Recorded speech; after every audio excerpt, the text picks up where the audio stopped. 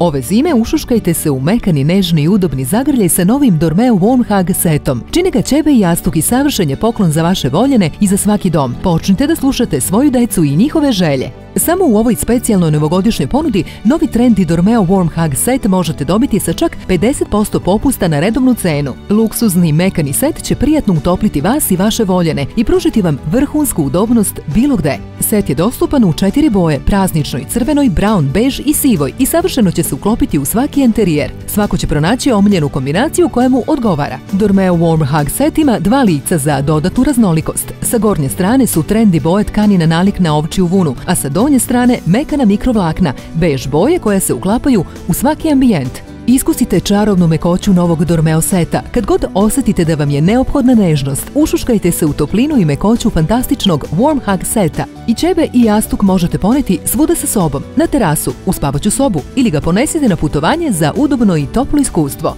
Za razliku od ostalih čebadi jastuka, Warm Hug set je napravljen od izdržljivih materijala i omogućava dugotrajni komfor i zadovoljstvo. Čak i vesele igre sa jastucima i pokrivačima neće promeniti izgled i kvalitet novog Dormeo Warm Hug seta. I čebe i jastuk perivi su u mašini. Ne znate šta da poklonite voljenima za praznike? Pozovite odmah i poručite savršen poklon. Pitajte naše operatere za dodatni dekorativni jastuk po specijalnoj ceni. Zašto čekate? Slični setovi vas mogu koštati malo bogatstvo, ali u ovoj specijalnoj novogodišnjoj ponudi možete dobiti Dormeo Warm Hug set u pola redovne cene za samo 2995 dinara. I ne zaboravite, svaki set vam pruža kombinaciju dve boje za dodatnu raznolikost. Poručite odmah Dormeo Warm Hug set, pozovite odmah 021 489 2650 ili posjetite naš sajt i prodavnice. Poklonite voljenima jedinstveni poklon ove praznične sezone. Pozovite odmah.